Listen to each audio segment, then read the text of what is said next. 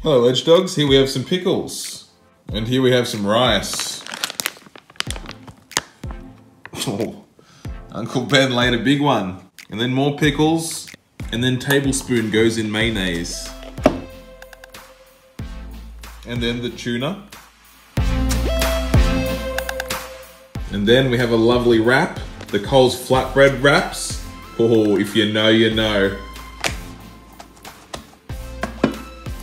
Give it the cheeky one-handed flip.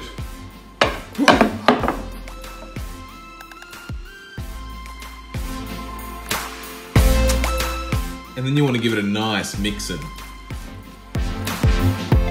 Cheers, Ledge Dogs.